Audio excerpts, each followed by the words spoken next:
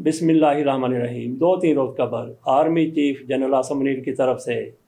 Dollar को control करने, smuggler के ख़ात्मे और दीगर इकदाम के लिए कुछ ऐलान किए गए थे। सख्त नोटिस लेने का फ़ैसला किया गया था। उस पर अमल होता हुआ नज़र आ रहा है।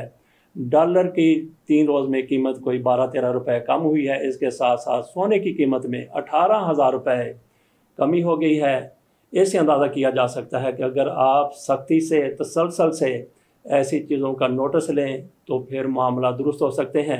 अब आ जाते हैं कोई सियासी खबरों की तरफ़। एक दो रोज़ कबल हमने भी कहा था, जैसा फयाज राजा ने अपनी रिपोर्ट में कहा था कि सदर आरफ अलवी फ़ौज और इमरान खान के दरमियान मसालत के लिए सरगर्म हो गए हैं, वो लाहौर जाएँगे। लाहौर में वो इमरान खान की अहलिया से मुलाकात करेंगे, इमरान खान की बहनों से मुलाकात करेंगे और नाजरीन, ऐसा हो रहा है, हो चुका है। सदर अलवी आजकल लाहौर में आए हुए हैं, उन्होंने मैच देखा। मैच देखने के बाद वो कहाँ कहाँ जाते हैं, उनकी क्या सरगर्मियाँ हैं, यकीनी तौर पर उनकी ये मुलाकातें हुई हैं और बर्फ़ पिघलती हुई। इसलिए भी नज़र आ रही है कि आर्मी चीफ की तरफ़ से, फ़ौज की तरफ़ से जिस तरीके से बड़ी बड़ी तकरीबात होती हैं, उनमें एक ही बात होती है, नौ मई के हवाले से। लेकिन छः सितंबर को जो भी तकरीब हुई, उसमें नौ मई के हवाले से उस तरह का तस्करा नहीं है। इससे जो नज़र आ रहा है कि फ़ौज और इमरान खान के माबैन सदर आरफ अलवी मुसालत करवाने में काफ़ी हद तक कामयाब हो चुके हैं और ये सिलसिला जारी है। वो लाहौर में सरगर्म है। सदर आरफ अलवी के पास खड़ाक के लिए सिर्फ़ तीन दिन बचे हैं। इसके बाद दीगर खबरों पर भी बात करते हैं। मरियम औरंगज़ेब साहबा के हवाले से ये खबरें सामने आई हैं कि इनकी तरफ़ से सोलह माह की हुकूमत के दौरान एक हज़ार करोड़ रुपए का घपला किया गया, घोटाला किया गया। इस हवाले से शहबाज गिल की तरफ़ से तफसील दी गई हैं। गाजी फैसल साहब पाकिस्तान के चीफ जस्टिस बने जा रहे हैं। वो चीफ जस्टिस बनेंगे तो उनके कौन से टारगेट होंगे? उनके दो टारगेट हो सकते हैं। एक तो उनके साथी जज साहबान होंगे और दूसरा टारगेट उनका पाक फौज होगी। जो लोग ये उम्मीदें लगा कर बैठे हैं कि इमरान खान को फिक्स कर देंगे। मियाँ नवाज़ शरीफ को रिलीफ देंगे। ऐसा होता हुआ बहुत कम नज़र आता है। इसके साथ साथ हम बात करेंगे कि इमरान खान को फिक्स करने के लिए जज को घर भेज दिया गया था ताकि इमरान खान की जमानत ना हो जाए। और दूसरी तरफ़ चौधरी परवेज लाही को जेल में रखने के लिए, कैद में रखने के लिए जज को घर से बुला लिया गया। अब चलते हैं इन खबरों की तफसील की तरफ़। सदर आरफ अलवी के पास आखिरी तीन दिन है। नौ सितंबर को उन्होंने रिटायर हो जाना है। सात सितंबर, आठ सितंबर और नौ सितंबर। इस दौरान वो बहुत बड़ा खड़ा कर सकते हैं। क्या खड़ा कर सकते हैं? वो इलेक्शन की डेट अनाउंस कर सकते हैं, जैसा कि उनके पास इख्तियार है। बहुत से तबके और हल्के उन पर ज़ोर दे रहे हैं कि आपके पास इख्तियार है, आप इलेक्शन अनाउंस कर दें इलेक्शन की डेट दे दें, जबकि निगरान हुकूमत और मुस्लिम लीग नून की तरफ़ से इनके इस इख्तियार को चैलेंज किया जाता है। पीपल्स पार्टी भी यही चाहती है कि इंतबात का ऐलान हो जाए। सदर के पास आखिरी तीन दिन इसलिए हैं। हालाँकि उन्होंने 9 सितंबर के बाद भी पाकिस्तान का सदर रहना है और उस वक्त तक सदर रहना है जब तक नई कौमी असम्बली वजूद में नहीं आ जाती। लेकिन उनके पास नौ सितंबर के बाद इस तरह के इख्तियार नहीं होंगे। वो एक निगरान की हैसियत इख्तियार कर लेंगे। इसलिए उनके पास नौ सितंबर तक बड़े बड़े फ़ैसले करने का, अपने इख्तियार इस्तेमाल करने का वक्त है। मरियम औरंगज़ेब साहिबा के हवाले से, शहबाज गिल की तरफ़ से ये कहा गया कि उन्होंने अपने सोलह माह के क़्याम के दौरान, अपनी सोलह माह की वजारत के दौरान एक हज़ार करोड़ रुपया अखबार में, मीडिया में तकसीम किया, सिर्फ़ और सिर्फ़ इमरान खान के ख़िलाफ़, इमरान खान की किरदार कुशी करने के लिए और अपनी हुकूमत की साहब सलामत के लिए। शहबाज गिल ने जो कुछ भी कहा, जो कुछ उनका मौक़ है, उसके साथ इतफ़ाक़ किया जा सकता है, लेकिन यहाँ पे ये जायज़ा भी लेना है कि मरियम औरंगज़ेब ने एक हज़ार करोड़ रुपया तकसीम किया है। इसमें से ख़ुद उन्होंने कितने खाए हैं, ख़ुद उन्होंने कितनी करप्शन की है।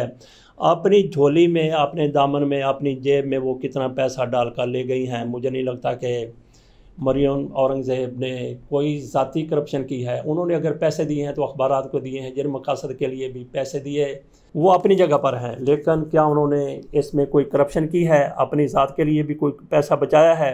अगर ऐसा किया है तो वाकई जुर्म है, बहुत बड़ा जुर्म है। दूसरी सूरत में ऐसा ही है कि जैसे इमरान खान पर कादर ट्रस्ट के हवाले से इल्ज़ाम लगाया जाता है, उसमें से इमरान खान ने एक पैसे की भी करप्शन नहीं की। तो क्या मरियम औरंगज़ेब ने कोई अपनी ज़ात के लिए करप्शन की है, ऐसे कोई सबूत शहबाज गिल के पास हैं तो वो सामने लाएँ।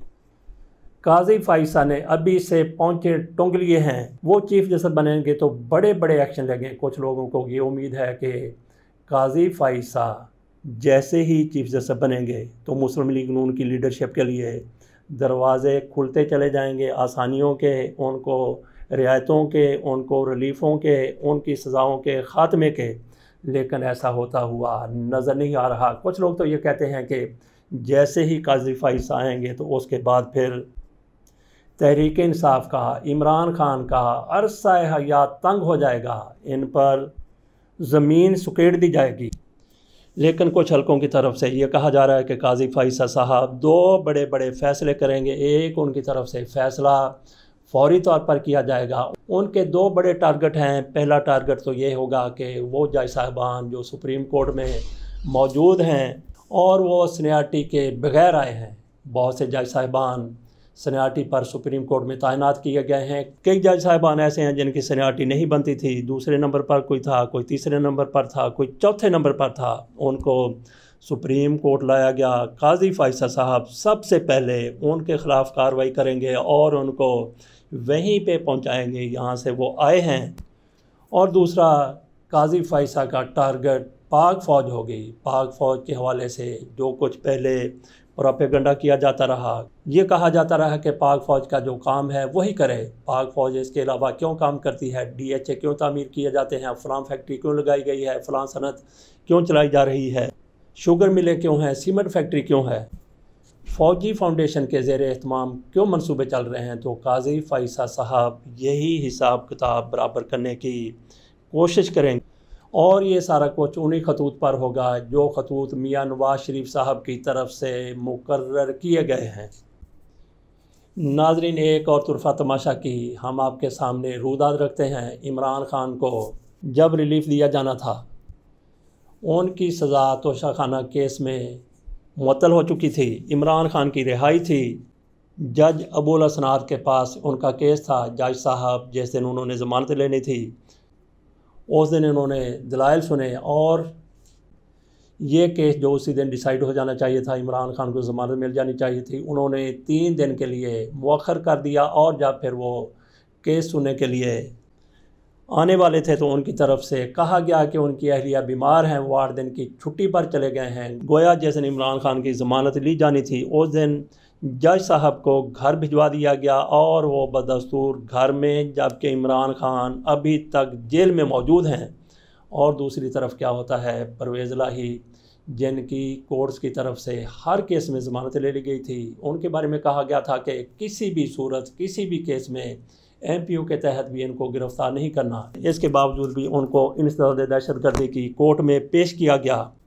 ये जज साहब जिन्होंने परवेज़ लाही का केस सुनना था, वो छुट्टी पर थे। तो इस दिन ड्यूटी पर मौजूद, आरजी ड्यूटी पर मौजूद दूसरे जज की तरफ़ से ये केस सुना गया। ये मामला देखा गया और उन्होंने इनका दो रोज़ का जिस्मानी रिमांड देते हुए चौधरी परवेज लाही को जेल भिजवा दिया।